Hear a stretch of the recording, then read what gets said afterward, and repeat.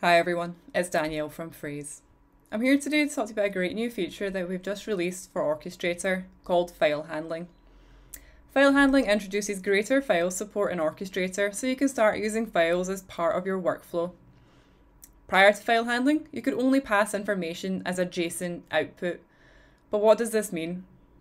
With passing information as a JSON output, you were limited by its file size. Also, because you were passing the output as a string, this meant that certain actions were not available to your orchestrator workflow because there was no file path to reference.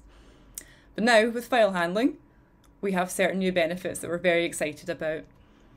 You can now save each action's output as a file, which means for any subsequent actions you can reference that same file output by its file path. This means we can now start seeing extended actions in your orchestrator workflow as well as having the ability to pass larger content because we're no longer constrained by file size. We're really excited about this, and I'm now going to start showing you a little bit about file handling in practice in Orchestrator. Here in Orchestrator, I've got a workflow set up, which is using how we would receive content from a previous action prior to file handling, which you can see here for the parameter section inside the transform JSON with JQ action. I'm focusing specifically on this action because it's one of the many actions that will benefit enormously from file handling.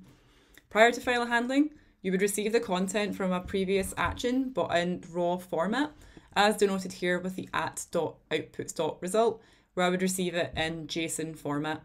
It's actually been updated, so you would use at raw instead, again to receive the exact same content as before, and you would select this JSON option here. But deleting that, I actually want to receive in file format from the download a locale option. So I'm going to choose file. You can see here the name is changed to file. And I'm going to use our new field picker tool to get me that content from the previous action. So download a locale variable and two options here, one still for raw output and then another for file path. In this case, I'm going to choose file path and the syntax has already been populated for me and you can see it's referring to the download a locale. So hit apply. You can then type in whichever JQ you want to perform across that file content that's been received from download a locale. It's that simple. So there you have it. File handling is something we're really excited to have released for Orchestrator.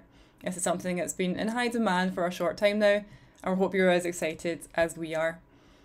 With file handling, it unlocks greater file support as part of your workflow. You won't be limited by file size anymore, and you'll even see extended actions that you can now use as part of your workflow. Watch this space because we'll be rolling out more file support as we go, and please get in contact if you have any feedback. Thanks very much for listening. Hope you have a great day.